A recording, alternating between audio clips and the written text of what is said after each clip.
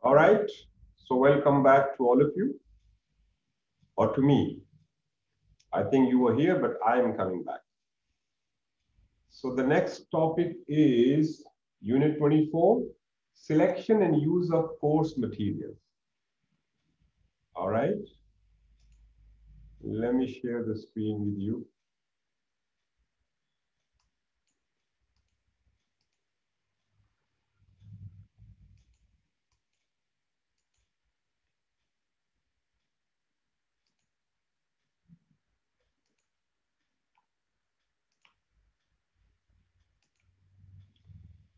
Unit 24, selection and use of course material. Now, in the previous unit, we talked about reference material, which are various in different ways. Now, for the course material, which is we teach usually, let's see how we do the selection for that. How do we select and use course book material? Course book materials are all the materials in a course book package that we use in the classroom to present and practice language and to develop learners' language skills.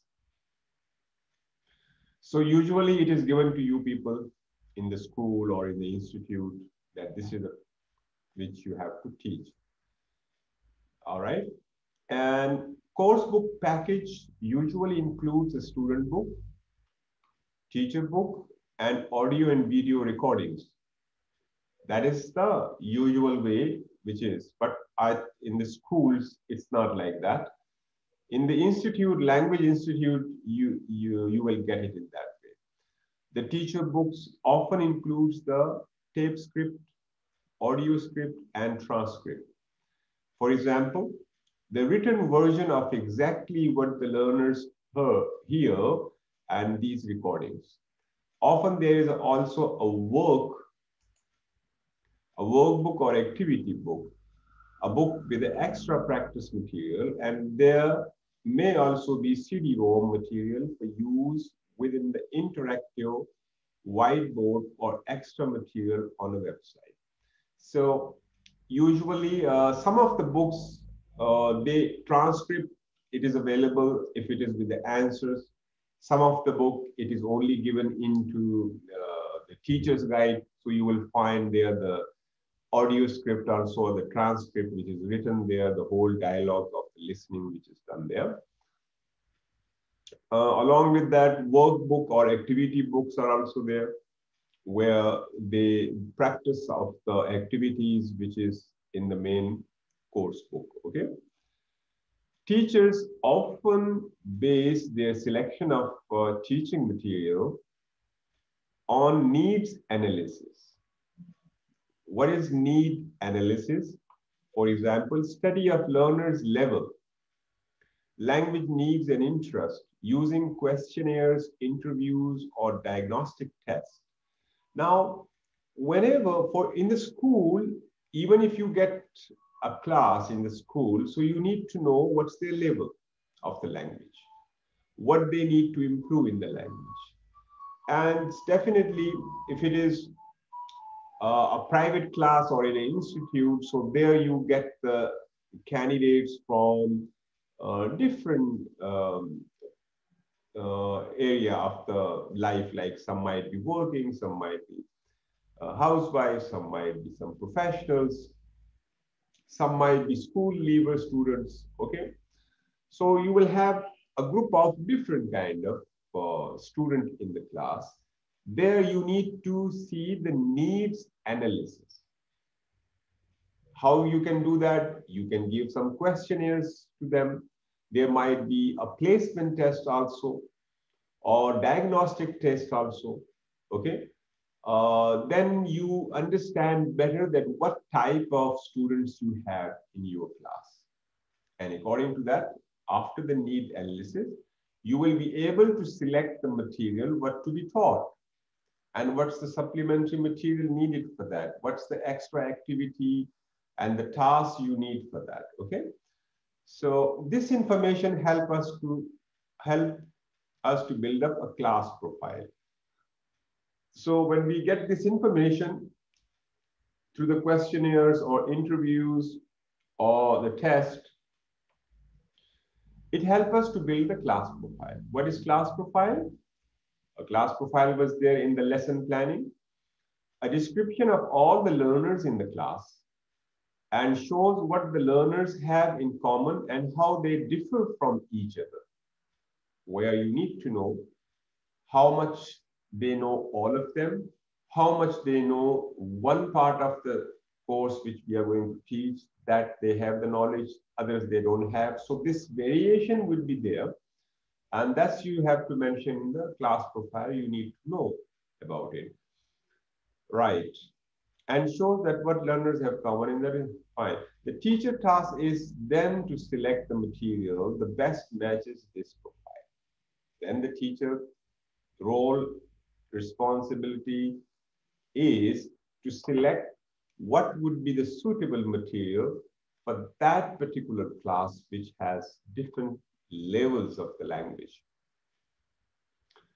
We may not be able to choose our course book because it is given to you. So you can't change that. If you are teaching in an institute or in a school, so you are given a course book, you have to teach that book but we can still make choices about what material in it to use. Decision about whether and how to use the course book or parts of it will depend on the answer to a number of questions. Now, we, we cannot do anything to change the course book. For example, you are in a school and you say, no, this course book is not suitable for these students. You can't, we, we can't do like that. So we have to teach that. But we can't change the course book, but then we got some choices. What need to be taught out of it and what else you can replace with the supplementary material. What activities you can give in a different other ways to them by the resources which you have with you, right? So now how to decide this, whether uh, this course book material need to be changed, it's suitable or parts of it is done or need to, there are different questions we need to ask from ourselves about that material, okay?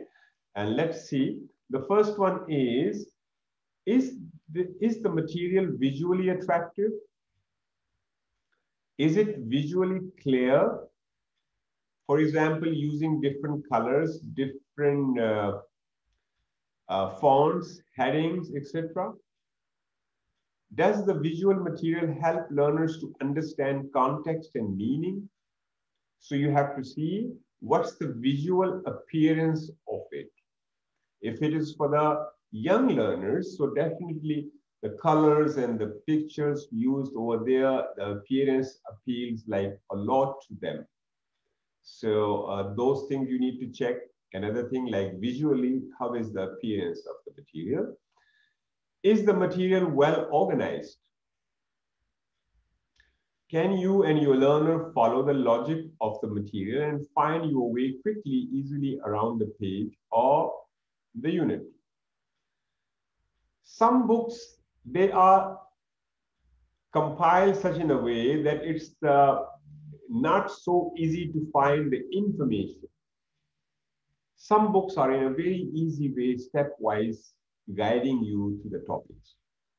That is the thing which you need to check whether your course book is guiding you easily through the topic and making you understand, or you find the information confusing, logically not connected with each other. Topic. Next one is, is it culturally appropriate? Will the context be familiar to learners? Culturally, like, you know, when you are teaching language, so it might be printed in different other countries. So usually the books which are, there are certain books for the international community, like anyone around the world, they can use it. Some of the books are particular areas, like if you see, there are some books for the South Asia printed. There are some books for the Europe why? Because culture-wise differences are there. Something in their culture which is normal for us, it will be odd. So something which is normal for here, for us, that might be odd there. So that sort of thing is there in the books or not? So if that isn't, like the, it is suitable, so the topic you have to see and uh, the pictures you have to see, like for example, if it is for the European countries, so there might be the beaches where the people are like having sandbath. When they're sunbath they're having, they, their dress is uh, kind of not acceptable in our society over here in the South Asia. So that kind of thing is there. So definitely you can't recommend that book with that kind of pictures in it for our students over. So culturally, I just gave you one example of it. You, you can see uh, whether there are some topics also, which is like, you know, um, there might be like regarding the boyfriend and girlfriend thing, they talk normally. But we don't talk that uh, in that way in the schools and all that to talk about the boys and girls relationship with each other and all that. But there are a lot of books on English language where we have seen these sort of things, like they have given a dialogue practice uh, from the girl side and the boy side, language practice is going on. And it's kind of like they are taking, okay, whether she is interested in you or not. So find out that with the dialogue. So then there different questions are asked. That kind of thing is kind of a bit odd, although uh, our society it is done, but it is not done in that way. Like not so straightforward it is done, right? So that thing we have to see whether culturally those books are suitable for us or not. Next one is, uh, is it suitable for your learner's age and their needs and interests or not?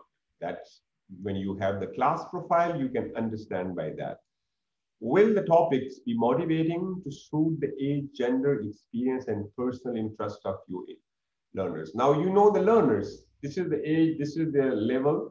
But now compare that with the topics in the course material, whether it is matching or not. Next, is the material at the right level? Does it provide clear enough context or explanation for learners to understand new language? So the right level mean if they might be uh, basic learners and they have given the intermediate level or book or inter, upper intermediate level. So you have to see is the language book, but is it a proper level for them or not? Next is, uh, does it give learners enough opportunities to use the language? like enough opportunities mean whether it provides certain situations for them where they can practice the language. So they does does it give much uh, practice for the student or not? These things you have to see in all these. Next, if the answer to any of these questions is no, any of these questions, if the answer is no, then we have two choices. Number one, to replace the course material with material with the same focus aim from another book or resource, such as teacher's website supplementary material. Now, the first is to replace the book. Now, it is possible if you are supposed to select the material for a course of study and you are doing the selection. So there you can see that whether this, uh, these are by asking these questions, so that is suitable or not. If no is the answer for that, then two choices. Number one, to replace that. Okay, but second one is to adopt the course book material. Now, if you cannot replace the book, then what are you supposed to do? Change it in some way to make it suitable for the learners. Then do some changes that it should be suitable for them. How the changes would be possible? Instead of teaching that particular topics over there, you can replace that with a supplementary material from the website or from the uh, your own stock, which I told you, some reference material, you can take it and you can supplement there with the main course. Number one choice, replace it. Can't replace it, adopt it. Adopted mean uh, change some of the areas to make it suitable for the learners. Is this two point clear to you?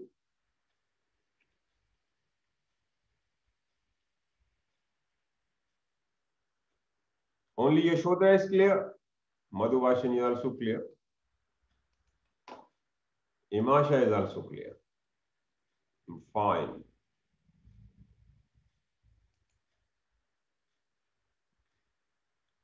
Now we will go, there are a number of ways to adopt the material that's not suitable for particular teaching situation. Now, the second option which we talk, uh, where, we have to adopt the material to make it suitable for the learners, there they say they, they have given you different ways. Extending the material. Now, this is the strategy, extending material. What is what's the problem here? The task or exercise is too short. The learners need more practice. So in, the, in that case, possible solution is write extra items following the same pattern. Right? Shortening material. Next, the task or exercise too long, the learners doesn't need too much practice. So use as much as you need, but do not feel do not feel you have the use to all. Give different parts of the text tasks of different. So if it is too lengthy, not necessarily you need to teach the whole or they need to learn the whole. So you can shorten it by taking out some of the activities and tasks which are not necessary to be done. Right. Changing the methodology. The task doesn't suit the learner's learning style you want a change of pace. The course book often repeats the same kind of task. If these kind of problems are there uh, in the material, then change the interaction pattern. For example, use a matching task as a mingling activity. In this case, learners move around the class and find their partner. So uh, if this kind of point uh, problem is there, you can you can change the task in a different way by doing the same task. So the method of doing change, change the methodology of it. All right. Like if they have asked you, is this point clear to you? Change the methodology. Okay, sir. All right. No confusion. Malaysia.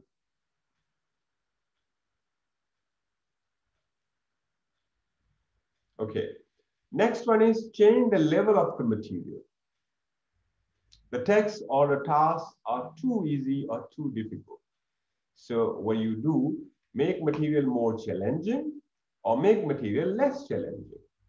So it's easy for you to do that. If it is easy, give a challenging kind of task out of it.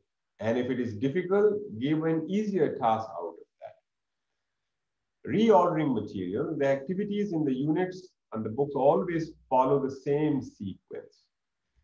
Uh, like, okay, language, practice, this, activity, one sequence is there. The learners need to learn or practice things in the different order. Now, change the order of the material, ask learner to cover up a page or part of page so that they focus on what you want them to do first.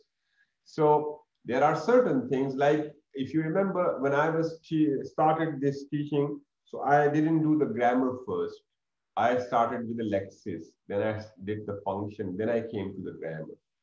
So why? Because lexis is a bit easy. So the people who start the language and suddenly they can uh, start the difficult uh, topic, then they may not feel so good about the uh, the, the, the material. So that's why I change it and the same topic is covered. So that's what you can do with your course book also. You can decide uh, what to select for them to do. The ordering you can change. You can teach one thing before, uh, which is uh, the, on the later stage, and you can bring it ahead. That is the changing order making use of all the resources in the book. This is not enough practice material in the particular unit. The learners need to revise particular items. You want to preview material in future unit. So uh, what you can do for that, use extra material from the book, grammar, summaries, and list, list of irregular verbs, give whole book tasks, searching through the book. When uh, the practice material is not enough, so you have to rely on the supplementary material. You have to rely on the, find out the uh, extra task given in the teacher guide or download some kind of task on that particular topic and give them extra practice in it. So let's see on the next page.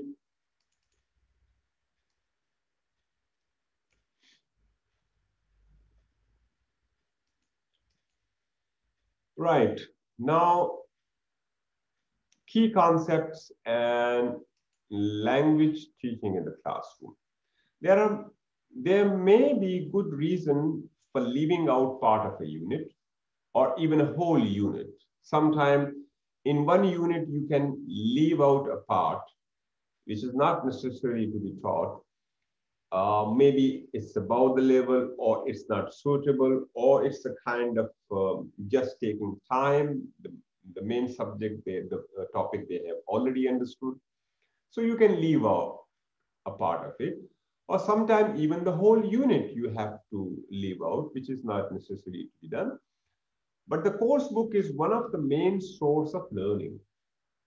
Now, usually the course book is the one which is mainly relied on for our learners. So they may find it confusing if we do this too often. Now, if the leaving out the areas, leaving out some units, if we do that very often, so the students, they are relying on the course book. They will be confused about the standard of the course book. So we should not be uh, leaving out the, the topics and the areas. Why? Because the main reliable, reliability is on the book. So when you feel this something is not suitable, you can replace it. You can give some different exercise. You can change the order but leaving out, skipping one and going to the next one, very often uh, for the different topics, it's not recommended. The course book will normally provide the main content for a lesson, while material that needs to be more personalized for the learners will probably come from the teacher or from the learners themselves. For example, Course book provides situation context. Teacher can provide warmers that how to do an activity based on that. Pictures, so the teachers can provide explanation in the instruction form. Dialogues, conversation between two people and text. Teachers can arrange the role play based on that. Tasks and exercises are there. Teacher can give the homework task. So the mean to say personalized mean when you adjust it according to your needs. So the topic can be taught in so many ways. That's what I told you when you have your own understanding of the language, what you're supposed to teach. Always not relying for what you got. See what are the other kind of options available for teaching the same topic in different ways. And then you adjust it with the your class profile that what type of learners you got there. And deviation from the course book, from the unit, part of the unit, always is not okay. Sometimes it's okay if there are some uh, things which you feel it's not to be taught, you know, that I also do in a lot of uh, teaching activity. When I do, I quit a lot of things, you know.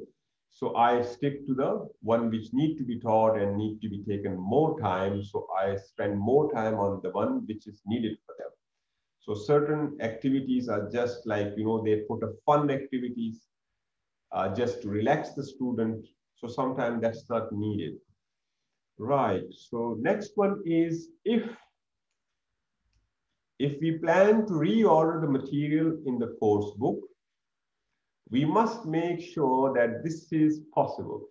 For example, the, a task exercise does not depend on a previous one.